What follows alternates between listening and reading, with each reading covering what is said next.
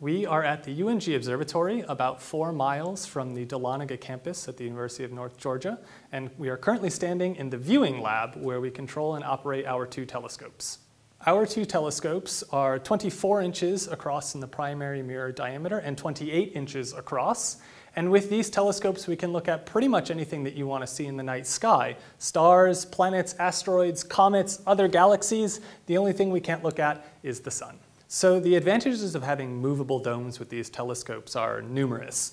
Uh, but a couple of the big ones is that we can reduce the amount of light from the surrounding area scattering into our telescopes so that we can focus solely on the stars. And it also provides a good deal of wind protection as well because wind can jostle the telescope.